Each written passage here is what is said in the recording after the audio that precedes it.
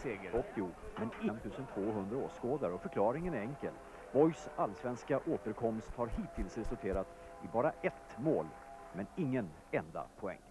Malmö FF och Robert Prytz tar initiativet direkt. Det här är den första Malmöhörnan och Jens Fjällström nickar.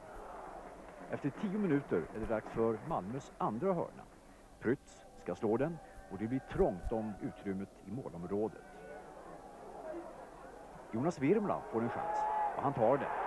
Nyförvärvet från Sheffield United gör sitt första allsvenska mål. Jonas Virmla och 1-0 för Malmö FF. En olycka kommer sällan ensam. Landskrona Boys, skadedrabbat, decimeras ett par minuter efter ledningsmålet. Debutanten Olof Andersson har spelat färdigt. Groggy efter en smäll. I den senaste matchen saknade Landskrona Boys sex spelare på grund av skador. Två utav dem var tillbaka idag, Björn Nilsson och dansken Jonny Kongsböck. Men det är framförallt Malmö FF som för matchen. Och oftast är Prytz inblandad. Här spelar han fram Jörgen Pettersson. En spektakulär enhandsräddning utav målvakten i Landskrona, Mats Svensson. Hemmalaget uppträder både förvirrat och en aning förlamat i avslutningarna i den första halvleken. Och egentligen har Boys bara en enda bra målchans. Den här.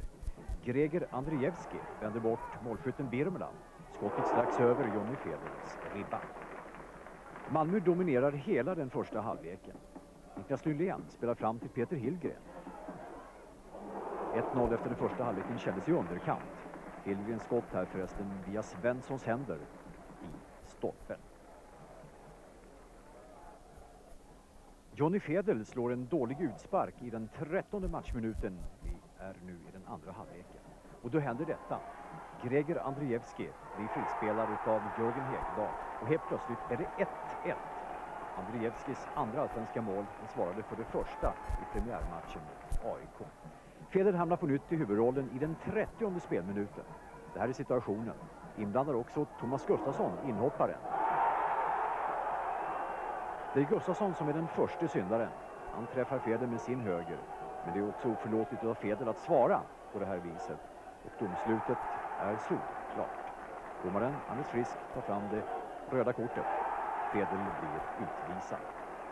Landskrona avslutar matchen en man mer men förmår att bara skapa ett enda skott på den vikarierande målvakten som är Jonas Virmola. Skottet ifrån Thomas Gustafsson. Skånederbyt slutar 1-1.